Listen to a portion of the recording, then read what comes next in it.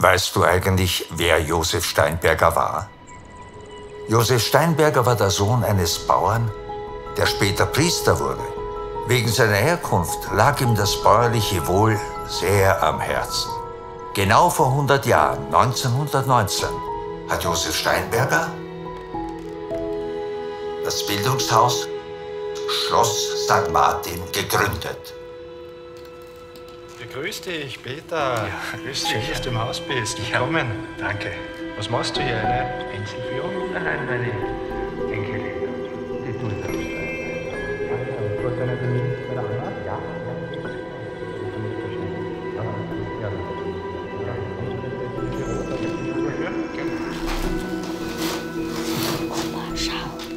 Du hast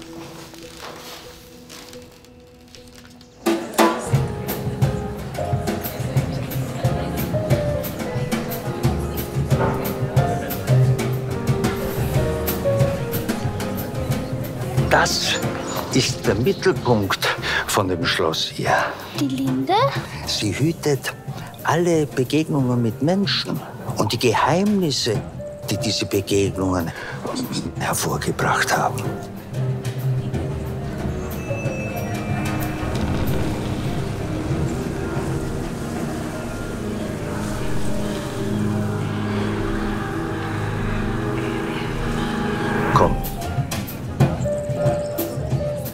Riechst du das auch?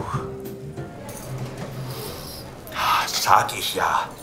So roch es, als die Ur-Uroma den besten Apfelkuchen der Welt gebacken hat.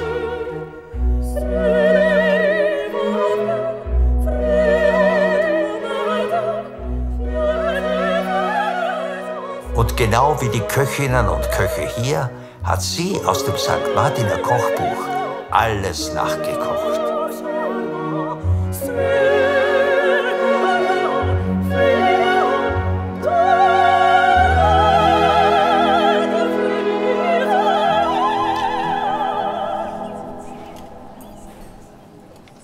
Isst du deinen Kuchen noch? Ja, äh, eigentlich. Oh. So, ich möchte dir jetzt die Direktorin vorstellen. Anna Thaler, freut mich, Emma. Hallo. Du hast die Dias mitgebracht? Ich habe sie gerade mit der Emma vorbereitet. Dann schauen wir es uns gleich an. Machen wir jetzt eine kleine Pause. Ja. Hast du gewusst, dass das Schloss St. Martin vor tausend Jahren das erste Mal in Schriften erwähnt wurde? Also fast so alt wie ich. Nach der Gründung des Bildungshauses fanden erste Kurse über zeitgemäße Hygiene, Ernährung und Kinderpflege für junge Bäuerinnen statt. Von St. Martin aus wurden im ganzen Land Fachschulen gegründet. 13 davon gibt es noch heute. Aber auch das Schloss St. Martin blieb nicht von dem dunklen Kapitel des Krieges verschont. Die Nazis hielten ihr Schulungen ab, bevor es 1945 zerstört wurde. Nach dem Krieg begann gleich der Wiederaufbau von all dem, was du hier siehst.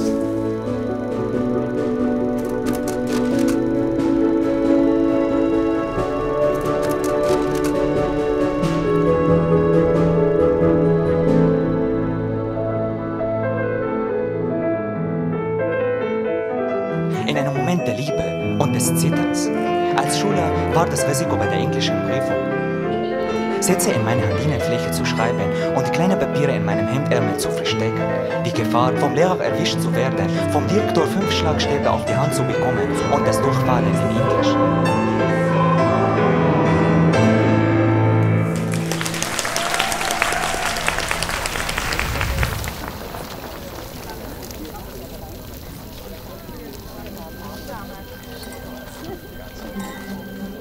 Danke für deinen schönen Abend. Danke auch von meiner Seite. Alles Gute, Prost.